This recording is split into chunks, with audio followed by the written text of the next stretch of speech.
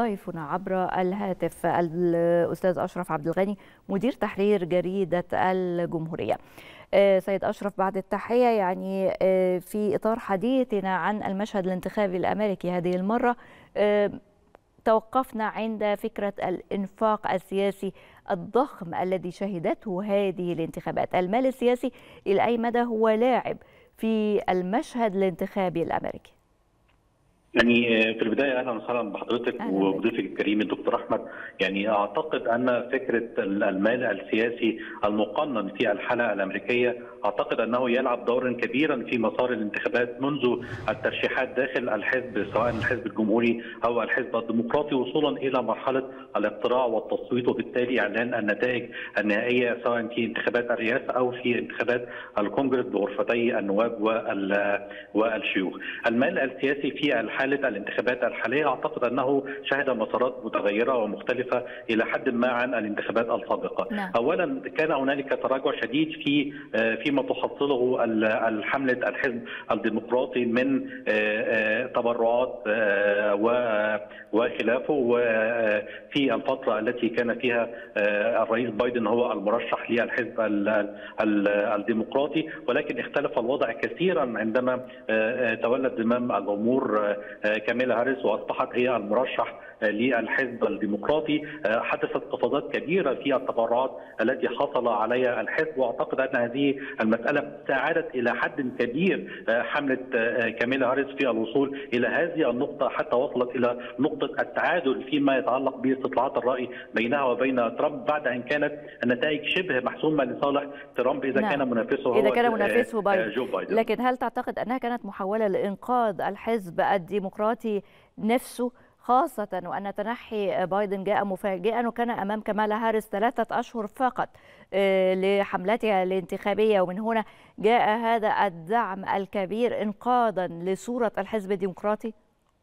يعني صحيح الإنقاذ هنا كان إنقاذ على مستويين، المستوى الأول إنقاذ للحزب في الانتخابات الرئاسية لأنه كان أمام خسارة محققة أمام دونالد ترامب، النقطة الثانية أيضا إنقاذ لما يمكن إنقاذه في انتخابات الكونجرس لأنه أو ما يطلق عليه أو أسفل ورقة الانتخابات الرئاسية، أيضا هنالك منافسة ستكون شرسة للغاية خاصة إذا كان دونالد ترامب هو المرشح ل الحزب الجمهوري هنالك أيضا كاميلا هاريس وهنالك سباق كبير ومحتدم في انتخابات مجلس النواب وفي التجديد الثلثي لمجلس الشيوخ. في حقيقة الحال لو كان بايدن هو المرشح الآن أمام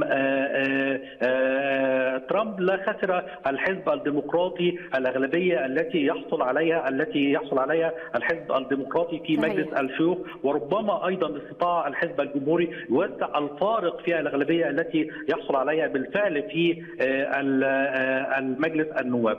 اذا الخسارة الديمقراطية المحققة في حالة بايدن تحولت إلى ربما معادلة إن لم يكن مكاسب في حالة أن كاميلا هاريس هي الآن المرشح المنافس الكبير لدونالد ترامب على الانتخابات. نعم، طيب فيما يتعلق بملف آخر والحرب في الشرق الأوسط أو الصراع الذي بدأته يعني إسرائيل وتعنتت وتجبرت فيه وصولا إلى أنه امتد إلى لبنان في رأيك هل مخاطبة ترامب بأنه قادر على وقف ذلك ووقف الحرب هو كفيل بإعطاء حدود أكبر لترامب؟ من قبل العرب ومن قبل الأمريكيين الرافضين لهذه الحرب؟ يعني أعتقد أننا امام خيارين كلاهما مر سواء كان الفائز هو دونالد ترامب أو الفائزة هي كاميلا هاريس.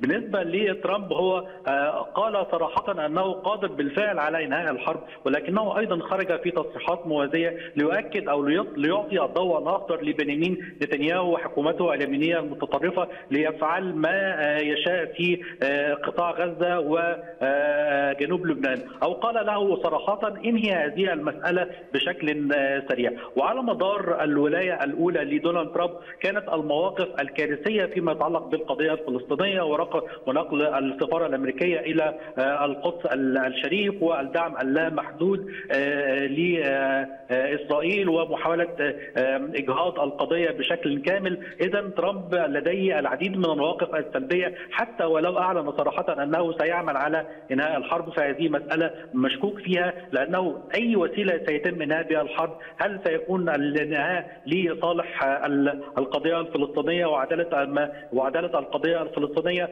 أم سيكون لصالح إسرائيل على طول الخط أعتقد أن النقطة الثانية ستكون هي المرجحة في حالة ترامب أيضا نعم. كاميلا هاريس لو كانت قادرة بالفعل على إنهاء هذه الأزمة وتحقيق العدالة والسعي لإقامة دولة فلسطينية والدخول في مفاوضات حل نهائي كما ذكرت في غير أعتقد أن هذه المسألة لو كانت بالفعل قادرة على الإنهاء على هذا النحو لكانت تمكنت خلال العام الماضي عندما كانت نائب للرئيس بايدن. كلا الخيارين يمر في بالنسبة للقضية الفلسطينية نعم. كلا الخيارين يمر بالنسبة لقضايا الشرق الأوسط. أعتقد أن الخسارة ستظل إلى أمد قريب نسبيا أو متوسط نسبيا لو كان ترامب هو الفائز أو حتى كانت كاميلا هاريس هي الفائز أشكرك جزيلا الأستاذ أشرف عبد الغني مدير تحرير جريدة الجمهورية.